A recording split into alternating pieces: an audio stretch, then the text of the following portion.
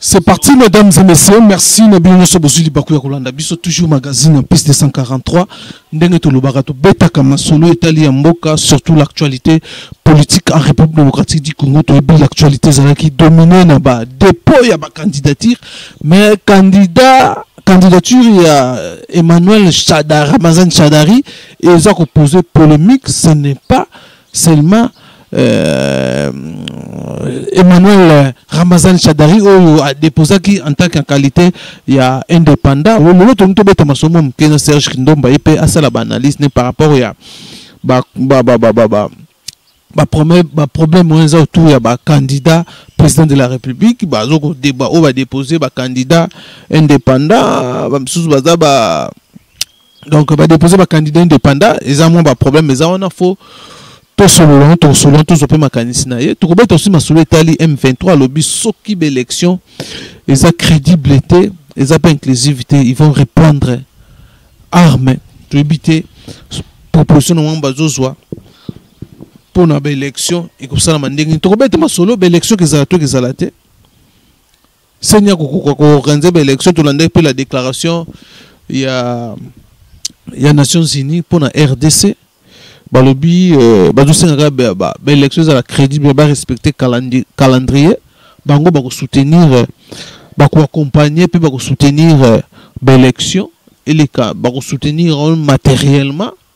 s'il s'agit financièrement bako bako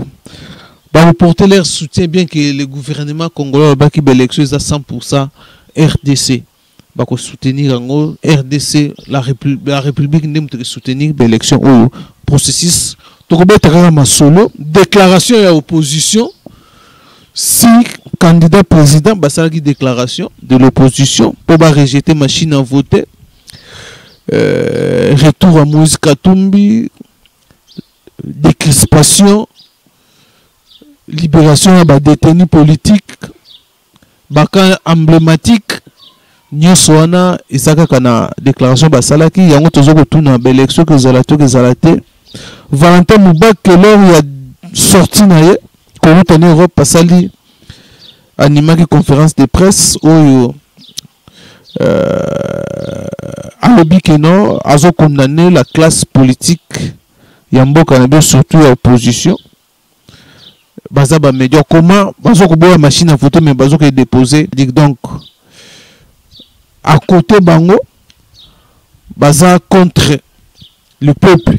pourquoi bakendaki bazowela kodepose c'est aussi longtemps que nous avons un problème ya machine à voter voilà baquestion tokosolola soki temps ekopermettre biso tobeta masolo en tout cas sans plus tarder mbote mwana mboka serge kindomba mbote ndeko ousmane lelo encore tozongi na yo tosolola mwa moke concernant toujours euh, bapoint oyo nauti koenumere awa soki temps eko permettre biso alors parlons maintenant tolobela nanu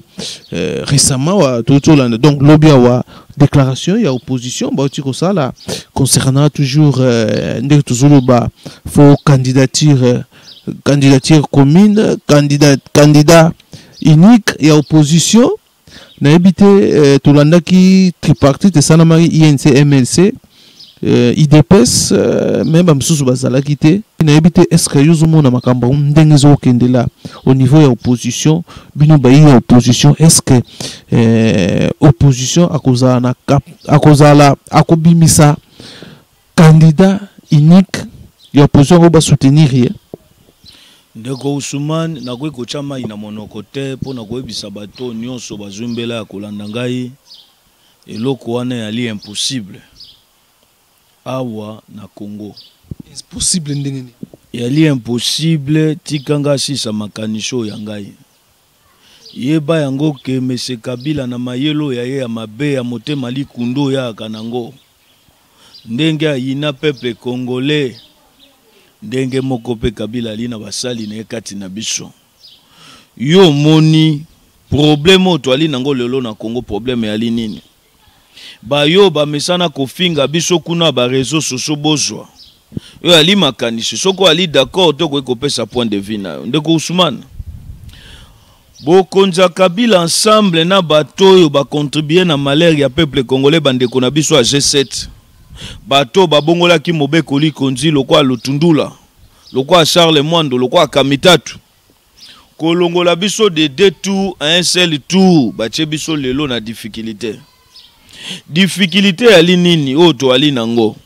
lelo yo président de la république akoki kozala eli na 5 pourcent de congolais bavote ye tant que m kabila ali conscient na échec na ye tant que m kabila ayebi ke bilan na ye ali négative congo mobimba moto akovotaka ye alaka te Ali na bilan ako defendre te. Ali na programme te ni mokitani oyo ya ye moto akoki ko voter mokitani ya Kabila Ali te. Nini Kabila kosala? Lelo yo toali na 26 candidats président. Tozali na 21 candidats oyo bauti na majorité présidentielle afuteli bango caution. misolo wana ebimi misolo ebimi na trésor public ya kopesa bato lokola ba Gabriel Mokia oyebi bien ke Mokia abundaka combat pas mpo na peuple congolais mabundaka combat ya ba bien na ye lokola ye na bokonzi ya Kabila basemetaki d'accord bayebisi ete obandi kolinga kolibere ba bien na omwa ndambo ozwa mosusu me mosusu condition na yango yali yo kokoma mosali oyo ya biso Moment ya maponami tango ekokoma ke bayi opposition ba desister, yo okoboya ko desister. Yango okoyoka Moki akomi soki aleki na ba radio ya bokonzo, soki aleki na ba media ya bokonzo alobi experience oyo ye aa nango, bitumba oyo ye aali nango na opposition, abi ye aali deuxième apres ekumbaki national ya Tshisekedi. Moto oyo akokani na ye na bitumba opposition ya anciennite kombo na ye moto oyo asuki ebele wana olenga koyo.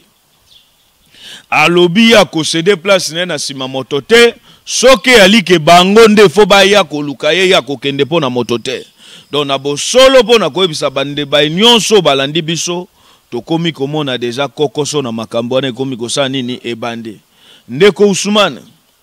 Entre parenthèses opposition ya solo biso tozo ndima ndenge bayebisaki biso babi te botika kotumba bandeko mosusu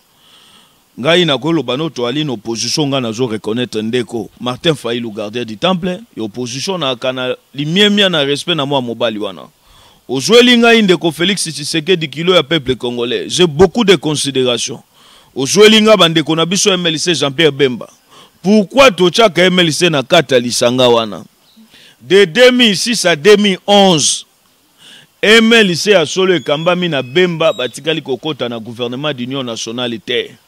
moto nyonso abandaki kokota bazalaki na basise ndeko na ngai lolenge moko baregroupemechange discours serge kindomba eyali question ya kochange discours te tango mlc ndeko tango tokei dialogue ya kanchacho biso toboyaki oyebi yango d'abord eloko ekabola ngai na frank diongo yali mpo frank diongo akenda kosoutenir moko ya balider artificiel bato bapiye mboka oyo moïse katumbi me biso na kati ya lisango ya biso front anti-dialogue anti toalaka contre dialogue na forme nyonso ensemble avec monsieur kabila ntango bandeko na biso bakei kanchache totelemela yango bandeko na biso bakendaki sendco biso toyaka contre yango mpo tolobaka ke tant que monsieur kabila ali problème akopesaka jamais solution na problème ya bacongolais pourquoi toasosiaka bandeko na biso ya mlc totali ke na bagouvernement nyonso soki moto ya mlc ake akoi akoti kuna bakosala nini bakoradier na parti tolobi ke oyo eza nzela ya congo epuis bawumeli na biso na nsenite na makambo opposition malgre nyonso ekoki kolobama moto na moto ali na kandida oyo yaye akoki kosala choix tosalaki selection tozwi bango totali mpe na ngambo moto mosusu vital oyo biso tozomona dossier na ye alia mpe sous reserve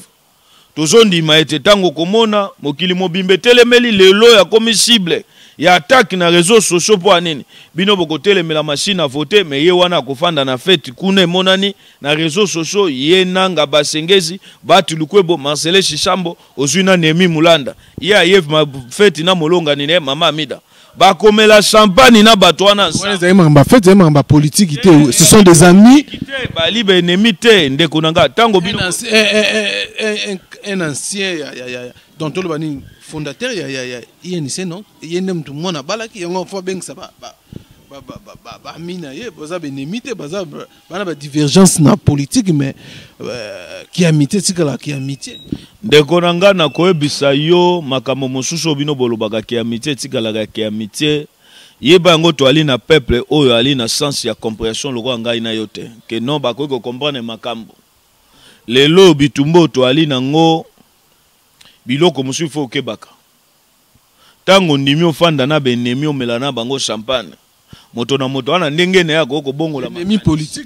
Ba ennemis non seulement ba ennemis politiques mais ba ennemis ya peuple congolais. Po yeba yango Nanga ndenge ali wana akoki ko Baza ba ennemis te to changer mot. Nanga akoki kolinga jamais bolamu ya Congo. Nanga ndonge omoni wana na Basengezi bakoki kolinga ka jamais bolamu ya Congo. Mission Kabila apesi bango yango wana. Ndeko Ousmane. Piège oyo toali nango na opposition yo moni te bakei ba réunion na kati kuna Martin Fayulu asali nini aboyi yango Martin ali moko ya bato babundi bitumba ya opposition ya makasi alobi esika oyo Freddy Matungulu Oyo ransemblement ya Limete eboyaka kokende kokutana na Tshibala, ye akendaki kuna mpo na koluka ba interet na ye. Abi tant que bokoki kosangana na bato wana, boyeba yango ke eyali na litomba moko te ou bien solution moko te ya malonga ekobimaka mpo na interet ya peuple congolais. Alors Serge Kindomba, na kati yo maloba tozozongela no, est-ce que na temps oyo to Congo ekomi nango, na temps oyo Congo eza koluka ko sauver Congo, ko sanctionner le regime en place par les elections. Est-ce qu'il faut toujours tokendaka na ba communication euh, ya haine? Ndeko Ousmane na bozo lobo Congo eza na posa na ngona nte tona posa d'abord bango nyonso bazala nao pembe to basala nao critère nani akozala candidat unique. Ndeko Ousmane kanga mokolo ya lelo nayebisi yo je suis pas un prophète de malheur. Nali moko ya bato oyo oyebi yango na la victime ya bokonzi oyo soki ali na bato bakombataka bokonzi oyo tokabeli bokonzi oyo vi na biso nali du nombre epuis na ndenge ya solo na nzela ya sembo par les enseignements oyo tozwi pembeni ya ekumbaki national moto ali na discours ya haine ali te toali wana mpo na koluka bolamu ya congo mais le mal na biso yali nini lelo yo tozali infiltre oyo nayebi so kanga data lelo omoni soki olobi meme totya si candidat ya opposition notyeli yo matungulu lokola bino bolingi ke bolobi soki tolobi mabe ya matungulu toali bato toali na ene tozweli bino ndeko kamere lokola bobi ke soki bolobi mabe ya kamere boali na ene totye ye totye bemba totye felix totye failu totyeli bino na muzitu baseki kombe 6 oyo biso tozo reconnaitre soki otye 6 wana nakoyebisa yo kende okusumane kanga data lelo eyali impossible na 6 wana babimisa moto moko yebisa nga difficulté ekozala nini martin fayilo toyebi ndenge sansa komba na ye ye akoki kondima kosangana na félix tshisekedi Tango komona sondage ya lokuta ebandi awa na Kinshasa na radio babengaka Top Congo FM. Babandi sondage oyo ya bango ya lokuta ya kobimisa que non candidat unique ya opposition peuple a voté par rapport expérience. Yoka tricherie. Babimisi Vital Kamerhe na 65 66% des Congolais baseni ba voter balobi te ya aline experience ekauke bemba aza ecarte na course vital kamere nde moto faza candidat unique bakozwa felix tshisekedi batie moto ya misato batie ya liboso kamere ya mibale bemba ya misato felix ya mine martin fayilo donc nyonso wana tocomprendre tolobi tete seke ali na bakandida oyo bokonzi ya kabila efinansaki etindeli biso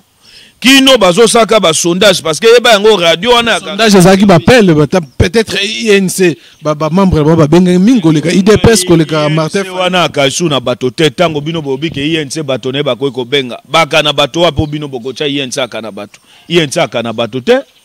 ye esa akabwana na base akata contact kala na base ndeko usumani biso tolobaki soki ke félix tshisekedi kilo ya peuple congolais basangani na gardien du temple opposition martin fayilo mpo na biso tokoloba opposition ya solo yango wana tokosoutenir bango mpo na nini bango baparticipe te na malheur ya peuple congolais mais tant ke tozomona bato mosusu badiscours ezochange akoyebisa wana bilili alobi te nali mpo na candidat unique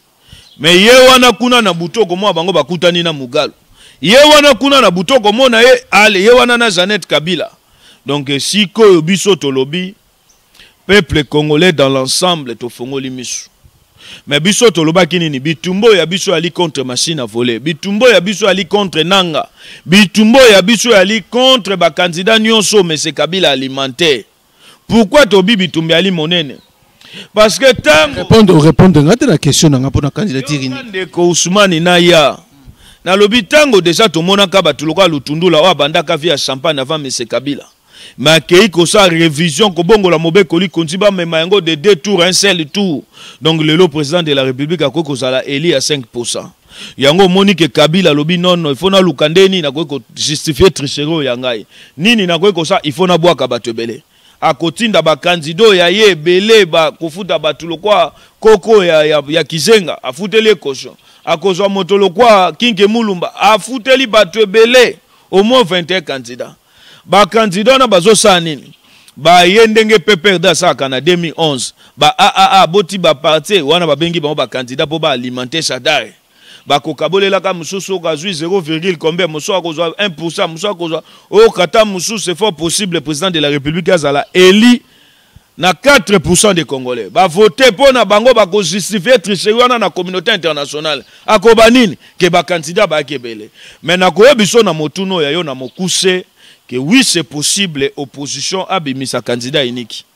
toyebisi bango nalobi non eza impossible nalobi na yo eza impossible me ntango nayebi so c'est possible ya nini soki ke failu na ndeko félix basangani mpo na bolamu ya congo biso tokondima yango candidat unique opposition ye wana biso tobimisi mais soki ke kamere aye aboyi na ye parce que biso tobi nini lisanga ya bato wana esika moto wana ali toali nango na eloko tozobenga sous réserve mpo ntango tokomi komona deja kokoya na top congo basali sondage ya lokuta radio wana yaka radio ya bokonzi ya kabila moto wana voyazaka esika nyonso kabila akendaka biso toali bato tosalaka baanalyse totali tobi a ah, kamere na mboka oyo combien de fois kaka radio wana elekisa biso bato bakritika ye kamer mais le meme bato wana bavote babi te ye ndenge ali wana ana expérience epuis ntango tozoyoka makambo expérience ezodomine o oh, expérience o oh, félix tshisekedi ali na expérience te ndeko na ngai ousmane yebisa ngai diplome ya kengo obe diplome ya matata Congolais nini a beneficier nango? Kabila oyo bango bakomisaka president wa Louis Michel amemelaka biso ye na 2001 awa wana mboko aka na experience nini aka na diplome nini oyo efandisi Kabila lelo oyo bino bokoka koyebisa biso makambo experience nayebi te soki bolingi bo enseigner Felix Tshisekedi akoma na experience ya koyiba mbongo ya mboka lokola Katumbi ou bien akoma na motema mabe oyo bakamere baaka nango ke na 7 heures akoki kozala na opposition na 8 heures achange camp akomi na moto ya bokonzi ya kabila akomela na bango basampane eloko bino bolingi félix apande yango wana tete ndeko na ngai kongo ya lelo toali na besoin ya kimia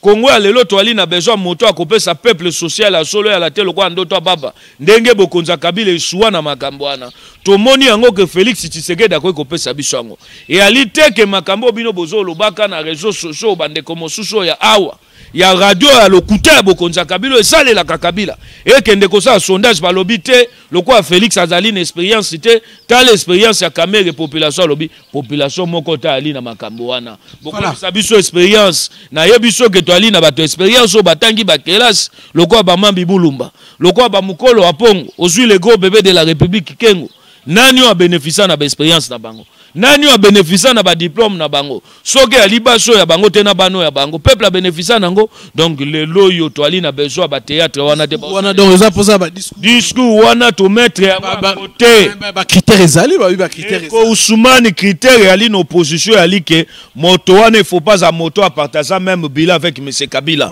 oyo oyo biso génération sacrifice pas selon ngai génération sacrifice ali banani bato bali victime ya bila ya M. kabila bato kabila nyokoli bato base retrouve te balisanse nyonso oyo lelo basalaka te oyo basalisi bakabine bato wana bayaki désespéré bayaki na espoir ke moto asimbaki destin na bango na maboko komona kabila akokaki kobongisa yango Mais lokola Kabila abongisi yango te, ye moko bokonzi ya Kabila ali pare ya mafia na Congo a proteger tous les criminels économiques lokola ba Muzitu, lokola ba Matata, lokola ba ndeko wana nionso tout biso tolobi par rapport ya critère candidat ya opposition unique tolobi yango en état peuple congolais tolobaki moto wana il faut pas à moto ala bénéficiaire ya fraude fiscale moto wana il faut pas à la moto azalaka criminel economique moto wana il faut pas azala moto oyo kombo na ye ala cite na ba rapport nyonso to international ya bato bayibi mbongo moto wana il faut pas azala na makila peuple congolais na maboko mais ntango totali félix tshisekedi tolobi félix tshisekedi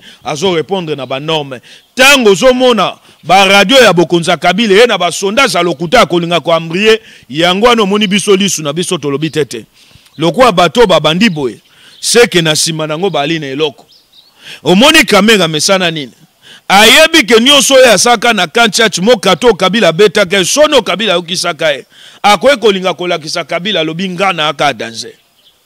nyonso oyo osala nga bakuba me tala ndenge nazongi nayebi ndenge nini nakoki kose rebondir ye wana aye lisusu pembe na felix ye wana aye lisusu pembe na bemba ye wana aye lisusu pembe na bato nyonso mpo alakisa bango nini Ngai naali moto oyo, naali moto ya bato wana. Mais na nionso wana, Ndeko Ousmane,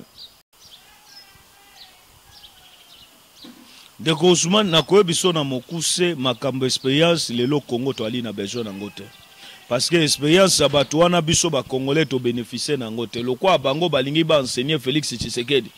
aza na experience ya koyiba mbongo ya l'Etat. Azala na experience oyo ya mabe oyo bango baaki na ngo. que na moi okozala na opposition lokola kamere na butu ochange biso tolingi experience wana te tolobi ke toali na besoin experience na bango te félix tshisekedi azo répondre na bacritère nyonso mpo na yo félix tshisekedi félix tshisekedi ou rien oyo biso tomoni ke candidat favorable mpo na biso balie na ndeko martin fayulu parce que déjà komona martin fayulu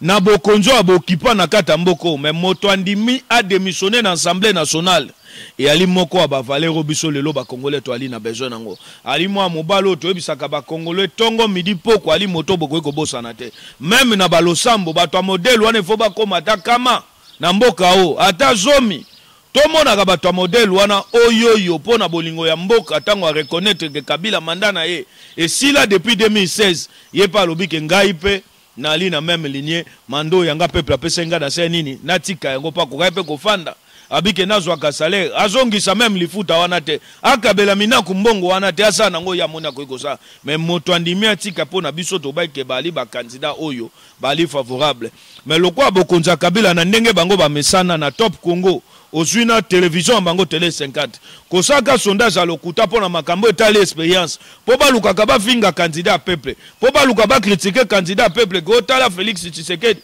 Kuna na opposition ba boyi ye. Nakoyebisa ba ndeko na ngai nionso bazui mbela ya kolanda ngai. Eali makambo ya lokuta. Felix Tshisekedi c'est lui le choix ya peuple congolais. Eali na makambo oyo te bokonzi ya Kabila emonte ya koloba que eali na experience te. eyali purement demagogie ndeko Ousmane. Voilà, yo olobaki candidat unique euh, commune eza vraiment impossible. Toyebi yango nalobi eyali impossible. Mais c'est possible soki to réussi ko réunir Félix na Martin mpo na biso tolobi ke ezali possible mais lokola toyebi ke non seulement Kabila ali na 21 candidat na ye mais badongolo miso mpo toali na bango na kati oyo bazosala sembla ya koluka ndenge ke toala na candidat unique mais entre temps toyebi ke bazosala mosala ya koluka kofragilize victoire ya félix tshisekedi yango omoni biso déjà génération sacrifié totie machine na marche ya koluka contact entre bato wana mibale nde bakoki kokutana eyali discours ya kokabola te ndeko usumane eyali discours oyo tozoyebisa bino bosolo yo vivaka na bato wana oyebi bango ndeni balaka Walaka na biso oyebi batu wana ndenge nini ba fonctionaka eali difficile ndeko Ousmane na bango six wana nakoki kotia meme loboko ya nga bakoki kokata nayebisi moto nionso alandi ngai soki makambo na lobi ke na lisanga ya Kamere Fayilu Matungulu Felix Bemba Muzitu na six wana bino bomoni opposition ke bango tout ba cede pona mutu moko loboko ya nga bokata yango. Na yebi so na tie bango na mot ndenge na tie bango en defi mais na yebi so ke yali possible ke Fayulu na ndeko na ye Felix Tshisekedi ba yokana ba loba ke po na interet ya Congo to ndimi to bimisa mboka oyo. Ndeko na ngai ko mona eya synonyme te ya ko zala po moto na moto ali na zendo ya ye. Yeba yango bokonzi ya Kabila deja etindi emissaire oyo ya ye. Moto na bengaka commissioner officiel ya debauchage Adolphe Lumanu dejà ali na mosala na ba candidats opposition oyo ye azo sala ka tongo midi pokwa ako mona ka bango yango wana oyo biso tosali nini to denoncer yango. Voilà alors Voilà, alors euh, Serge Kindemba, tu as abordé deuxième question, on a joué sur moi mingi. Alors, euh, d'habitude, déclaration, il y a opposition, bah, ça là qui lobby, bah, rejeté machine à voter. est-ce que c'est possible lelo euh, nanga a se retirer mpo nanga de asa que non sa machine à voter belection mwa esalama na date oyo eza te tomoni mpe kuna communiqué ya, ya, ya, ya nations unies baza kosala baza toujours korapele kinshasa surtout la ceni a respecter calendrier électorale tokende na baélection tokende baélection ndenge nini opposition aboyi machine à voter euh, kote oyo kuna na nanga bisa machine à voter élection moesama année oyo eza te kozala impossible to revenir na élection à papier nayebi te tokosuka boni est ce que les élections ekozala na date oyo ndenge ozomonela makambo yango est ce que eza possible ke baélection esalama na date oyo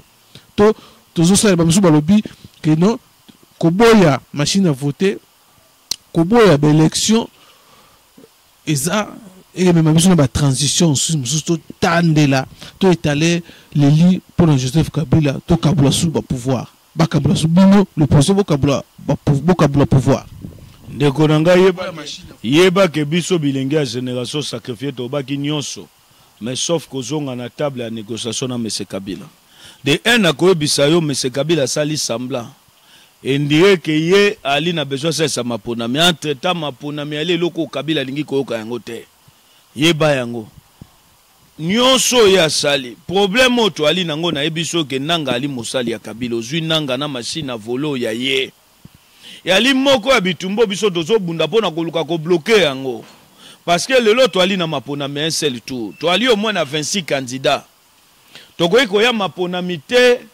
oyo elobi ata moko ya ba prisonniers politiques ya bokonzi ya Kabila Eugène Idiomi Ndongala oyo aboyi po ye aboyi maponami. Alobi ako participer te, alingi te que tokende election oyo toye ko accompagner tricherie ya monsieur Kabila. Toye ko accompagner victoire ya bokonzi ya Kabila ya mokitani na ye entre temps baali na bilan te ya ko defendre baali na eloko moko te oyo bakoki kosala mais soki bakoki ko gagner biso mpo ya nini mpo opposition accompagner bango yango wana bitumba oyo ye azoboya yango wana donc nakoyebiso ke machine à voter biso toali contre yango. biso tolingi to tokokende election ndenge nini ndeko na ngai tokoki kokende maponami na babilete ya papier mpo na biso aneonde ezala impossible seni de asa repondre na question mpo asali mpe commande oyebi kala asalaki commande ya 35 000 machine ndeko usumane nanga eloko yali na ye moto mangongi ya nanga moto ezosala ebongo lokola kabila asuraka ye ayebiseke moto akosala yo eloko yali te Na yebisaki yo na ebandeli ki nanga ye po asala ba congolais mabe, nanga ye te pona koluka bolamu ya Congo. Ndenge moko Malu Malu aluka ka malheur ya peuple congolais. Ndenge moko pasteur oyo azanga ba mbuma molimo, ba fruits de l'esprit, Ngoy Mulunda, aluka ki malheur ya peuple congolais. Ndenge moko pe Berger nanga aye koluka esu mabe ya peuple congolais. Tango Nanga azo beta moto alobi que machine ou rien yali makambo oyo bokonzi ya Kabila azo yebisa ye Nanga awuti kozua 350 millions de dollars mbongo oyo banque chinoise edefisi bango bayebisa biso bango babaki que baboyi financement libanda balingi obe financement misolo ewuti awa mais ba chinois ba defisi bango misolo ba chinois yango bali ba nani bali ba congolais tein et puis na 350 millions ndeko Ousmane ceni bapesi ye combien 250 millions mais bakozwa 100 millions de dollars bake kopesa sadari mpo na nini lokola bango babaki mopatas bali na besoin babatre campagne na bamoyen ya leta donc congo akoti niongo niongo wana ifo misolo wana ede mboka mpo mboka ekende liboso basalisa mapona bango babi te te toali na besoin maponami ya kimia te toali na besoin tozwa mbongo topesa kandida ya kabila sadak asimba yango akabola na balie nyonso bakandida nyonso bango baalimente wana mingi bali na calcul bayebi ke ah, ndenge toali boye moya kozwela mbongo emonani awa donc na mokuse ndeko sumani nakoyebisa yo machine à voler biso tokoparticipe te na maponami avec élection tokende na machine tokosala ndenge nini tokokende wapi oyo tokosala lokola toyebi nanga alobaki ke donc sa machine à voter ane oyo élection esalama lokola toyebi ndeko usumani lokola toyebi ke na agenda ya mese kabila alengeli élection te na 2018 Oyo alengeli alengeli obe kawo. Oyo alengeli alengeli obe vie ya ba congolais toko aide ye. Toko aide ye na ye biso toko aide tomilengeli parce que toyebi ke ndenge azali wana na kati na biso opposition wana na zo biso ba infiltre bale tango tozo biso ba opposition bazo reflechir na de vole misusu bali na makanisi ni ba bitete. Soki Kabila asesi maponami te ano tokende na nini eloko oyo tobengi transition biso mpe tokota tosala nini partage ya pouvoir tokoprofite toyebisa ba congolais boyeba yango gouvernement d'union nationale etikala jamais kozala mpo na interet ya population tomoni yango awa ye moko monsieur Kabila na deux mandats oyo ya ye asali peuple a se retrouver te ebongo yebisa ngai na gouvernement d'union nationale ekozala lobe lokola Tshibala te awuti dans le neant na pauvrete kaka ye moto abongi ekozala lobe lokola ndeko kamere ntango akei dialogue ya kanchach resultat na yango yango wana eboti ndako wana pembe na uvira donc makambo nyonso bino bozoyoka politicien aza ya opposition oyo alingi asala fond de commerce na ye ndenge biso olobaka na makila ya rosi chimanga likolo ya makila ya therese kapangala ya kokende kosasocie na kabila botika kabila bakrize oyo ye moko azobota asala nini akomisa yango ntina suka parce que ye moko moboti makambo ye moko moto ali obstacle na makambo nioso ezoleka na Congo ye geniteur nango makosala ni ayebi ke na kati na biso na opposition il y a des aventuriers oyo bazoluka misolo balobi a ah, ngai naa na mbongo ya kampani te mosusu ayebi kaka ke atiaki na ye kandida mpo oyebisa ngai lelo oyo kabila to suppose ke na nko ndenge amesana kosala makambo asalisi election te ndeko osumani balobi ke boya dialogue mpe toyokana moto lokola matungulu deja ye moko lu epekisaki ye ntango alobi ke te cg na ye ake komonana na cibala a suspendre sikoyo bokonzi oyebisa eke matungulu yo mpe lelo ekomi tour na yo ekomi tour na yo kokoma ministre ya yambo bazwa moto lokola moke ya bayebisi eke lelo ekomi tour na yo eske bato wana bakoboya yango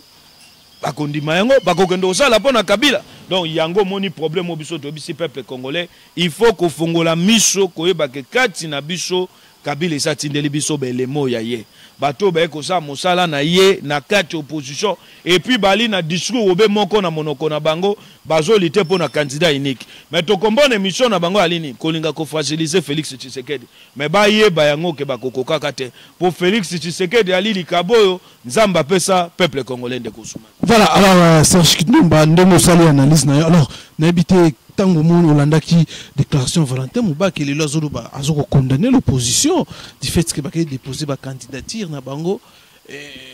il fallait baboya il fallait bakende te parce que eh, la machine à voter eza piège oyo yo mon poti koloba wa que non les régimes selon yo ndenge olobi selon ye mpe alobi atiaki na place pour que a triquer l'élection nayebi te eh, okoloba nini par rapport ya euh, bapropos ya valentin mobake oyo acritique l'opposition balingi bacontribue na malheur ya peuple congolais ya kondima kokende élection ya kodepose bacandidature na bango si longtemps ke machine à vote eza wana yebisa yebisa valentin mobake kaka likambo moko ntango ye akendaka kuna epa kabila Malheur wana oyo asala biso pasi oyo ayokisa biso na motema biso bato tobandaka ko croire na ye ye Valentin po ayebi biso boye ayebi ke oyo kindomba oyo Mike Mukebayi bayaki bato tokolongwa epa na biso na ba mbongo ya biso ya pasi kokende kofandela ye kuna. tango makambo ya ibiza ebandi awa biso ko soutenir tata wana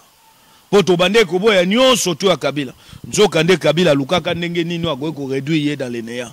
ndenge nini akoki kosilisa ye ayebisa ngai alobi ke petit ndenge nini ozokende kolanda frank frank amemi yo na makambo ya koboya dialogue ya senco entre temps tshisekedi kutu moto ali poids lourd koleka bato nyonso Andimi yango ebongo yo na Franck Diongo bokosala nini? Ye ayebisa nga makambo wana est ce que lelo oyo Mubake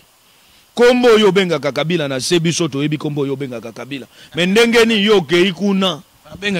tuna ye ye se andima Kabila congolais tuna ye Valentin Mubake soki andima Kabila ka congolais ali na kombo oyo abengaka Kabila ayebi yango na se biso bato oyo toyaka pembeni ya tata wana toyebi ye mais tuna ye nini oyo esaka ke ye akende kuna palais de la nation Tango abimi abi o nanga moto naye na journee na ba oyo baka na moyi ndeko tika kotiaka mobaki te wana ali moto akweyi na velo koseka moto akweyi na velo masumu oyo ye moko asumukeli na ngo ye akoya kopesa ya na leso akoki kopesa te tuna ye nanu parcours oyo ya ye pour le moment mubaki ali na lini nini ngambo nini oyo ali totala yo Ali na ligne te moto atindaki akende epa kabili ali felix tshisekedi te epuis nakosenga na ye tika kombo ya felix tshisekedi na monoko ya yo moto oyo akosaka yo kombo na ye nemi mulanda tika kotambwaka na kombo ya felix bato oyo bakosaka yaka banemi baye na basadari na balumanu bakosi oyebi bango nde bayaka babi antuka yo mobaki yo nde moto ali opozon bangisa bokonzi ya kabila Yo ali extremiste koleka bango nionso. Oyoki yango? Soki tozo mona bato oyo ba kazonga zonga na yo, bana oyo ba oyo ba mesanaka na yo, ba copia yo, bayebi ndenge nini yo o fonctionaka. Ebongo yo moko moto ozalaka source d'inspiration parce que tata wana tango azalaka na opposition ya solo, tobandaka kozwa ye ba modèle. Tokola ndeti na ndako oyo ya ye. kosololaka na ye, kolekisa meme na ye journee, nzoka nde toyebaka te ke Mubake akoti na bitumba moko na ba Bruno Tshibala, bitumba yango kombo nini? Nga pe nabonga et non peuple abonga. Tika ye soki azo ba makambo oyo ye azo baka na kolandaka yango te ndeko Ousmane. Azo lika distraire biso. Yebisa ye pe ali parmi batu oyo bazo sambela que election esalema te tokende lisusu na dialogue. Ye ndenge ozo mona ye wana ti akendaka ayebaka ke Kabila akokomisa ye ministre ya yambo. Tango akomi kuna na lolendo ye akanango ndenge abandaka kofinga Tshibala alobi ke moto apesaka nga kombo ke Tshibala akarisa lunette fumee pauvre en politique akamubake. Ye abandaka koyebisa biso yango na se à l'epoque Tshibala aali porte parole ya ya udps. Tango ba ke makambo ya ibiza tango mubake alekea na television local a contredire bango ye tshibala wana aleki na television abike mubake akazu na udps te esi ba benga naye akani conseil tofanda naye kuna na ndako tata ako bobake akoyebisa biso abi tala aventure wana moto wana aka riche na lunette fume pauvre en politique abi ye asalaka politique wapi eh mais ye wana lelo ye moto apesa moto apesa biso kombo wana yaka ye bongo na na bandako ya benga tshibala bongo ebongo tango akende pa kabila Ayebisa moninga moko oyo atikala kuna na ye, mais totika ba camarades, akoyebisa yo abi moto lokola ngai nakende kozala ministre, Tshibala premier ministre. Donc ngai akoti conseil des ministres, Tshibala ye ngai atelemi.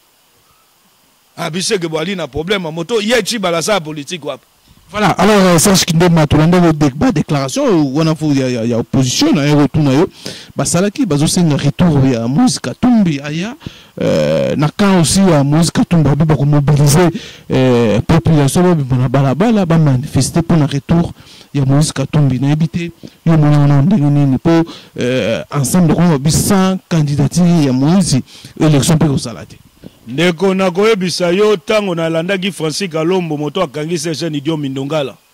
oyo a monta coup na makambo ya viol ya Diomi tango alobaki plan A na bango Katumbi plan B Katumbi plan C Katumbi alobi Katumbi ou rien soki Katumbi ali te bango bakokende na maponami te ya liboso nabengaki ye na bon sens naobi bolingo ya Congo ekanga ye ba soutenir ndeko na bango Felix Tshisekedi soit ba ba ba sa choix ya candidat bango ba moni na opposition ba soutenir ba tika ki bonga ina makambo ya Congo et puis tango ya lobi bongo yebisanga moto lokwa Delice Sanga vieux ya ye confort ya ye afanda obe na politique tango bino bobi bokende mapona mite bo asui moto lokwa Delice Sanga ko kokende te soki moïse apostile mpe belection eza te ndeko na nga kolanda ye te sesanga ye moko ale animal politique Vie naye mobimba na 2006 a soutenir Bemba president na 2011 Tshisekedi candidat president naye ye moko le meme annee akenda ko soutenir Kengo po bakota concertation kuna na plateforme bakoma kuna Kengo abeta ye mokato akozwa bongongo atie na ebonga akosi bango ye moko leyo akoma katumbiste tuna ye sesanga mokolo kokutana na ye ideologie naye ya kanini makambo azoloba ye avivaka na moyen ya leta te na politique nde moto epermetaki avive ye a na cope mosusu te ye akolinga mpenza yo ndenge oyebeli sesanga ou bien moto lokola mvwemba ke katumbi aboyi maponami mvwemba akangi maboko abiki akoparticipe te ndenge ntango abaki bongo ye ntango kalombo ube bato wana ensemble baolobaka bongo Yo oyebi te ta mususu esanga na, na, na sa motema alobi Tshisekedi kutu toyoka ye te ebongo yo Katumbi na aseka afingaki Kalombo abi bino na Kabila ba, ba mbongo boyiba no bino boyebi ba mbongo bo escroka ba congolale bolingi botia ngo na mitu na biso to bo sacrifier biso bakokende maponami kolanda bango te et puis eloko na bango na ensemble ya lika asui na deux mois pamba existence soki lelo maponami na nko awa na 2018 yebaka ensemble wana ekufi po ekopanzana mwana na mwana tellement basanganaki tout autour d'un leader artificiel moto asombaki bango asalaki basa ya conscience ndenge moko ye moko mpe kabila aka leader artificiel mbongo nde moto ezosalake bato bazala zongazonga na ye soki olongoli mbongo bato bakoya te me bafelix tshisekedi bali baleader naturel bazokonte komobilize na mokuse mpo tozosilisa mpe awa bazokonte komobilize la population mpo basenga retour ya Moïse Katumbi aya kokota na baelection mpo baelection ezala credible mpe euh, inclusive. Ndeko Ousmane, ya liboso na koyanola na deux volets. Réponse ya liboso motuna ofo tuna yango Pierre Lumbi. Loba na ye na 2011 ntango yo Pierre Lumbi ampeshaka avion Tshisekedi ekita na Congo. Ndenge nini te Tshisekedi abetaka bino mondenge, adefie bino, akitisi pepo na ye awa. na Kinshasa pour abattre campagne électorale. Yo Pierre Lumbi moto chaka Tshisekedi na résidence surveillée. Makambo nyonso baliwa ba boteti makambo wana nyonso tuti lelo nano éclaira biso te. Mais lelo yo mayelo yo pesaka Kabila ya kokangaka ba opposants. Mayelo yo pesaka Kabila ke Tshisekedi akita te. mais lelo mayele wana ebaluki contre bino donc nakoyebisa yo na mokuse eyali consequence ya choix oyo monsieur Katumbi asaka tango biso toponaka vie ya congolais bango babi te te bango balingi bolamu ya congolais te bango balingi pasi na biso balingi nzala na biso nde ezosala bango esengo yango omoni bakendaka a 2006 ko soutenir Kabila omoni na 2011 biso tobi le peuple d'abord bango balobi te mabenga na biso d'abord donc c'est normal faut basala ni basume yango bali na population te oyo bango bakomobilize epuis nalobaki soki katumbi yaki na besoin akota na mboka oyo ndeko na ngai tshisekedi evenema ekumelaki katumbi aka leader naturel akota na mboka oyo magege pierre lumbi apesaka ordre alobi ke avion ya tshisekedi emeka kokota wa te akanga meme na bakomanda ya pepo Mais Tshisekedi akitisaka avion na ye alobi que kombo nga na bundaka yali ya ba congolais. Soki na kokufa na kokufa na population ya nga. Na lobaki ba moyen yali ebele oyo Katumbi akoya kokota. Yebisa nga lelo na Congo oyo po ozwa honneur militaire avec 500 francs okoki kozwa honneur militaire nani yango abosani? Okoki kotambola kaka na super marche olingi okota boye 500 francs soda akosala nini akomemela yo saki akokatela yo na sali. Ebongo ye Katumbi oyo ayiba ba billets verts ya mboka oyo. eloko nde ekoki kozanga ye aye na frontière ya kabila moto azolia na rwanda na 6 heures na 12 heures aye kosokola maboko na makila ya bakongole akotraverse na este wana akoti moto akosala eloko na te na frontière ebongo ye eloko nde ezangaki ndenge amesana kosomba basa ya conscience ndenge asomba bandeko na biso mingi oyo toyebaki bakina ezalaki makambo mosusu wana ezali makambo bazoba instruction batie bacharme ya kote eza te apesaki bainstruction Yeba yango biso tuaka na frontière te avec kabila congolais ali securise te monguni azo kota na est azo boma ebongo ye moto ali na public ali na population ndenge babaka ya katange ali na sima na ye soki alobaki kayaki determine abike ngai il faut na s'enterrer ndeko na nga meme ata na nzela ya ko se déguiser ou bien batu ba yeba te ke aya na ndenge ke sa makelele te alingaki aya akoti moko musu baninga ba benga batu tango batu bakoya bo ba sutuka seni abimi so yo yo yo yo yo zo partager na meme meme euh, communication na na mende tango mende zo loba na na conférence de presse ni kino euh, Moïse Katumbi azala te na frontière ya Zambie. Ndeko Mende oyo alobaka oyebi tata wana nga makambo naye nalandaka yango te. Eh, nalobi par rapport na yo lobi ke yo moza na doute ke no azali na Zambie te. Te na akoki okota. Ngai nayaki na doute te. Moïse Katumbi ayaki na Zambie mais problème na ngai yaki nini? Kokota ya Katumbi nde na Congo. Nalobi ke soki ayaki na besoin ya kota ayebi yango ke bokonza Kabila toaka na armée te toali nde na ba généraux moderne. Soda congolais moto azokota na camp kokolo na motuka kimi embouteillage na 24 tomwa moto amemi motuka kota camp kokolo na bi me kuna barrière namoni ba mapinga bali wana bie eh, kolanda bango te na mwa moto akobenda mwa kaniaka 500 francs akoya na motuka apusani afini peme wana 500 francs batomboli ebende wana biso wana tosali toleki yebisanga soda modele wana ye babiye vero yaka nango soka obaki aleka na frontière oyo basoda congolais ta mosusu batie wana motivation ya prime bapese 15 000 franc congolais basodana bautaki kozwa meme 500 dollars ata soda yango bautaki rwanda bayaki na ye wana soki alobaki ke ase deguise ou bien akota mpo tomona yango ekumbaki me bango ezalaki bato oyo mosusu bato oyo ya monene ezalaki wana ya mura bagarde républicain osumani ndeko osumani bino bino oyebi nga akamwaka nde bino bobangaka mura kende babarrière oyo batiaka saki jour sur 24 na butu pembe na zelem wana wuta ata hotel du fleuve ubo wuti atata mosusu na ndako inter soki ozobima soki batielo barrière wana nao namona bango te esika ba controle mutuka bakangi moto aki na minduki bango basala kobe babengi peage kobima na wana na suka eyali mokonzi tozolia te bango moto nyonso to akoma mokonzi oyo na mitunaka me mboko oyo yango basoda congolais banvuta bango to ndenge nini koma bosengaka biso ba 500 francs boye 500 francs me kabila koya akoseli bino makambo na congo epuis bomeli bo, bo, bo yango obe modele oyo donc soki ayaki na cote d'ivoire makambo oyo bakoselaka basoda na mboka oyo nde messi basala rebelio kala toyokaka eka moko eyindaki kuna mandoki ebetami me lokola basoda ya kongo nayebaka te baluka bango mpe bafandela bango bamfuta bango na bokonzo yango bakokaka kose revandike ata bato wana bango te donc na mokuse nakoyebisa yo eyali motuna oyo ndeko osumani Ndenge osalaka mosala oyo ya yo oali mopanzi sango monene, naka na elikia ke mokolo okokutana na Pierre Lumbi loba na ye kaka oyo bino bosalaka biso na le passe ya koniokola Tshisekedi, ya koniokola peuple congolais lelo ezongeli bino.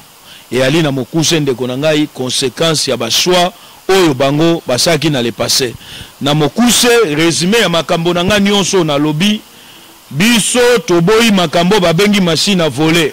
Tokokende na yango na maponami te. Congolais yeba que Nanga awuti kozwa 250 millions de dollars.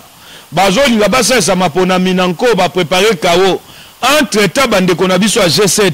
baoyo babandaka vie ya champagne liboso ya monsieur Kabila. Na kilokoso na bango ya koluka sucette au chocolat bango bato babongola. Mobeko likonzi de deux tours un seul tour lelo batie biso en difficulite po president de la republique awa na Congo akoki kokoma elu na 4 pourcent de congolais ba vote ye donc Kabila ndenge aza na na tricherie oyo bango balengeli ensemble na Nanga ba na besoin te ko candidat na bango akoma na 10 pourcent ba na besoin te ke candidat na bango azwa 15 pourcent po na bango ata 3 pourcent de congolais ba vote ye bako justifier yango po bayebi ke bakokabolelaka bato mosusu ba nini ba voix et puis to ala bomoko ya koluka ko reunir ndeko na biso Felix Tshisekedi na ndeko na biso Martin Fayulu parce que ba misusu toyebi ke na moyi bali na biso bazo ba meme monoko ke tolingi candidat unique mais na butu bali basali ya Kabila na pesi mbote na ba ndeko nionso bazui mbela ya kolanda ngai na pesi la belle mambo et puis na pesi na tansi ya mopila sans oublier oyo ya ngai soda du peuple congolais Boketshu wa yambo sans oublier moko lisusu ya ba guerriers combattants ya makasi oyo nabengaka ye pena ba sniper ya peuple congolais na kombo ya Bogus Bompema napesi ye pe mbote napesi le le le gardien du temple ya tous les diaspora papa Andre Ngoma oyo tolobi mobundeli ya peuple ya solo solo. Napesi lisusu mbote